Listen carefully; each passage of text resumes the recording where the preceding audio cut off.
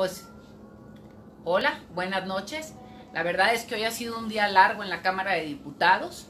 Estuvimos trabajando, discutiendo todos los partidos políticos representados en la Cámara sobre dos temas importantes, revocación de mandato y consulta popular.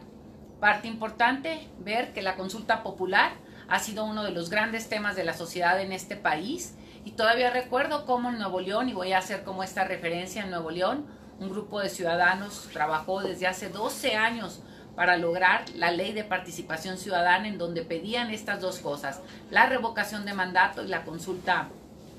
Y por otro lado, años después, otro grupo de ciudadanos, pero a lo largo de todo México, especialmente muchos jóvenes, estuvieron empujando el tema de consulta, durmieron afuera, del Senado, estuvieron visitando diputados eh, a lo largo de casi un año para lograr que esto se llevara a cabo. Y bueno, el día de hoy, 14 de marzo, fue un día histórico porque en la Cámara de Diputados se aprueba, y digo es el primer paso, se aprueba aquí para pasar al Senado, la consulta en donde hicimos cosas importantes. Se baja el porcentaje que se requiere para poder llevar a cabo una consulta, se cuida toda la parte que no debe ser o no tiene por qué estar siendo consultada, como lo son el tema de derechos humanos, el tema de presupuestario, entre algunos otros.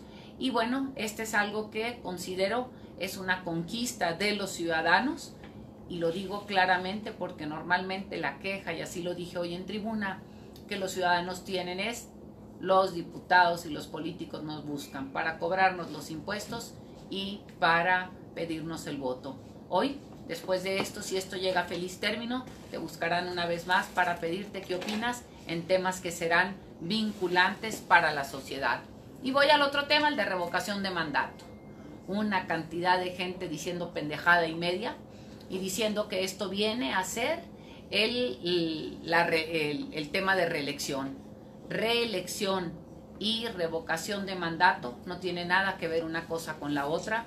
Él se ha dicho que se someterá a revocación de mandato a mitad de término, eh, a mitad de término eh, de, los seis años de quien esté en turno en la presidencia de la República. Se someterá a ver si la gente quiere que continúe o no.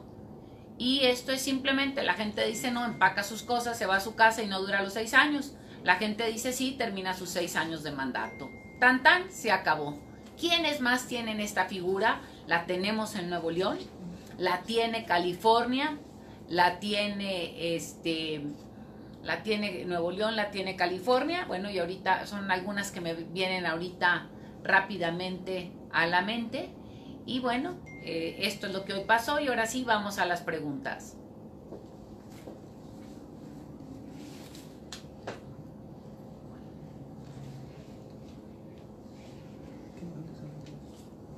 A ver, los voy a leer. Aquí me van a leer las preguntas.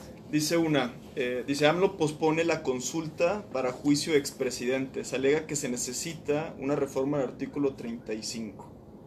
Es parte de lo que hicimos hoy, aprobar esta reforma. Yo aplaudo que el presidente la haya pospuesto y más cuando estaba esta consulta en vísperas de ser o no aprobada y ha sido una de las críticas que le han hecho de que si por qué ha sometido a consulta otras cosas, yo creo que ahora ya como presidente requiere apegarse a la parte esta constitucional y me da mucho gusto que se haya eh, pospuesto a que esto pase para poderla llevar en términos de esta situación apegada a derecho. Eh, preguntan que si es verdad lo que ha dicho la Coparmex sobre la reelección.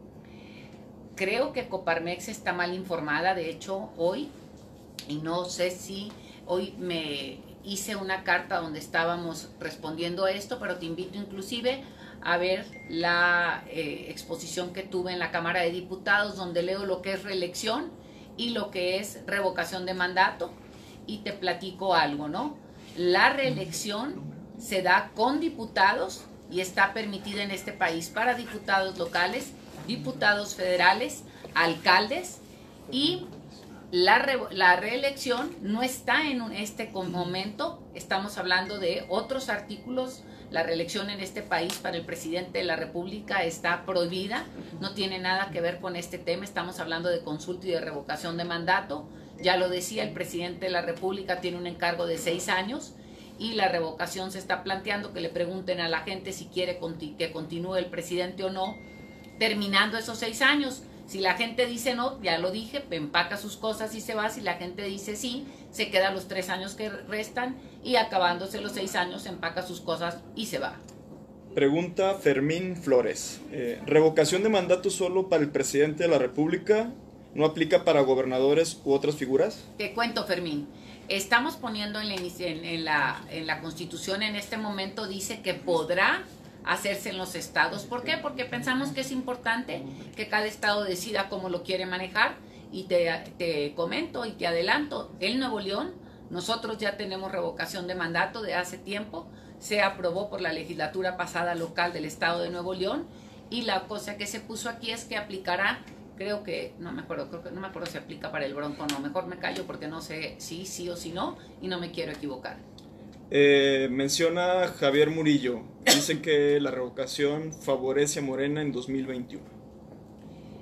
Híjole, a ver, eh, me gustaría que me profundices un poco la pregunta porque lo que se está preguntando es si el presidente quiere, eh, si la gente quiere que el presidente se vaya a su casa o continúe y cierre con los tres años más que le faltan de mandato. Ayúdame a entenderte y si quieres profundizas mientras yo voy respondiendo otras.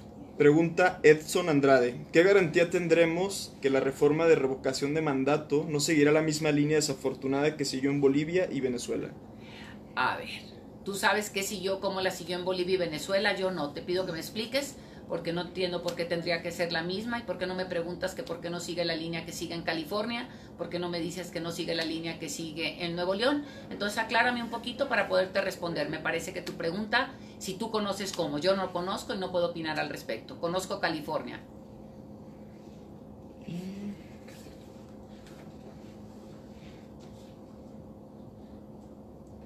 ¿Cómo se elige al sucesor en caso de revocación? Pregunta José Guzmán. Hay un articulado, hay una parte en la Constitución, no me acuerdo ahorita si es el 84, ahorita lo vamos a checar, ahorita me pasan una Constitución y ahorita lo checamos, en donde dice cómo y es el Congreso. Esto sería el Congreso nuevo, el Congreso votado después de esto, el que se haría cargo de eh, elegirlo de forma eh, diría yo, temporal, mientras sucede lo demás, pero ahorita te encuentro el artículo y vamos viendo, aquí sí dice, aquí ese es el 84, estoy en lo correcto y te leo. Mm, aquí 84 donde empieza, ya vi. En caso de, de, falta absoluta del presidente de la República, en tanto el Congreso nombra al presidente interino sustituto, lo que, lo que deberá ocurrir en un término no mayor a 60 días el secretario de gobernación asumirá provisionalmente. Aquí está una de las respuestas claras, una es provisionalmente. Y luego sigo. Eh, quien ocupe provisionalmente la presidencia no podrá remover o designar a los secretarios de Estado sin autorización previa de la Cámara de Diputados. Cuando falta absoluta el presidente ocurriese en los dos primeros años, que no sería el caso, déjame avanzo.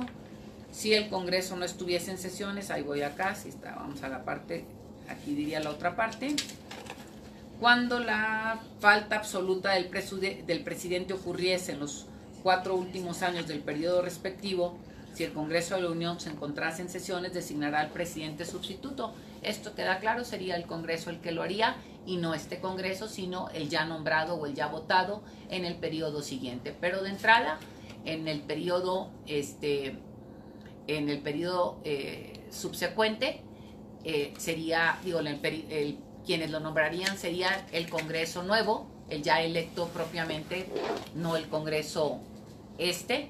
Y por otro lado, pues ya los detalles se darán en una ley, reglamentaria que viene como, este, recordemos que esta es la Constitución, pero de entrada estamos protegidos en términos de quién temporalmente.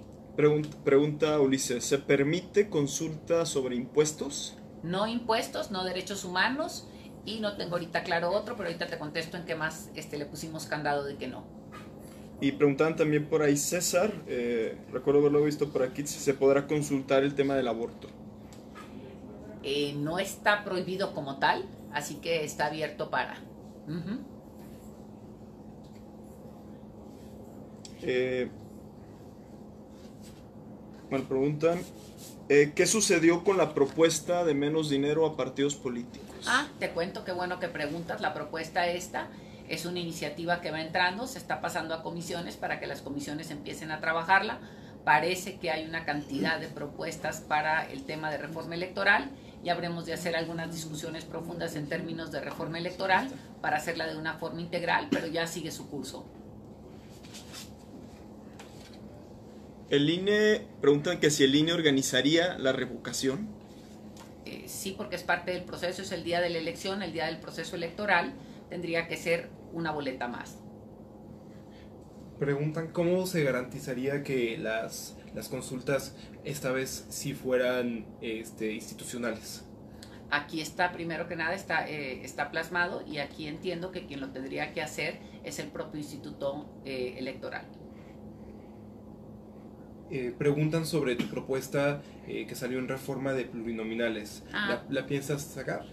Bien, comparto esto, me digo, fue como un adelanto, no la hemos metido a la Cámara para que inicie su propio proceso, pero la idea es, los senadores en este país, cuento un poco más profundo, los, los senadores históricamente se supone que representan a las entidades federativas, así había sido el propósito propio de por qué se formaron, y resulta que viene una reforma en donde quieren repartir más puestos a funcionar a, personas en los partidos políticos y una manera de calmarlos. Dijeron mete más mete más al Senado y no hallaban cómo meterlos entonces hicieron un formato de modificación de esta manera. ¿cómo estamos hoy? tú mandas, o sea, cada partido o los independientes hacen una fórmula de dos, la fórmula ganadora mete dos eh, senadores, la fórmula perdedora mete uno y ahí tenemos tres que representan entidades federativas. Y queda eh, cuidado la parte de la representación proporcional, es decir, de las minorías con el mejor perdedor. Ah, pero eso no creyeron que fuera suficiente y hacen un listado en donde ponen 28 diputados, eh, son más 32 senadores más y estos resulta que los ponen en una lista que representan no saben a quién en términos de que no son a una entidad federativa. Eh, considero que esto violenta el principio propio de del Senado y por tanto lo que estamos haciendo es pedir que se eliminen esos y nos quedemos solamente con los votados directamente, los primeros perdedores y no perdemos de esa manera la fórmula de representación proporcional. Eh, preguntan que si la revocación de mandato aplicaría también para diputados y senadores en la manera en que quedó en este momento, ¿no? Y queda también, recordemos, viene la ley secundaria y viene un podrá para que los estados hagan lo propio en cada uno de los lugares. ¿Qué pasa con los, eh, primero, voy a plantearlo en esta manera, los diputados federales, los diputados locales solamente tienen, no solamente, tienen tres años en el mandato. Entonces, ni modo que lo pongas al año y medio. Son tres años y la manera en que tú utilizas si los quieres mandar a su casa o no, es a través de eh, pues los votas con B chico, los votas con B grande, dado que existe la reelección, puedes decirle váyase usted a su casa, empaque y lárguese, o le dices quédese porque me gustó como usted, como usted hacía las cosas. Y bueno, compañeros, ha sido un largo día. Ya este agradezco mucho que nos hayan seguido. Aquí seguimos pendientes y espero hacerlo este Facebook Live eh, más seguido, poder estar en contacto con ustedes, que tengan la posibilidad de preguntarme.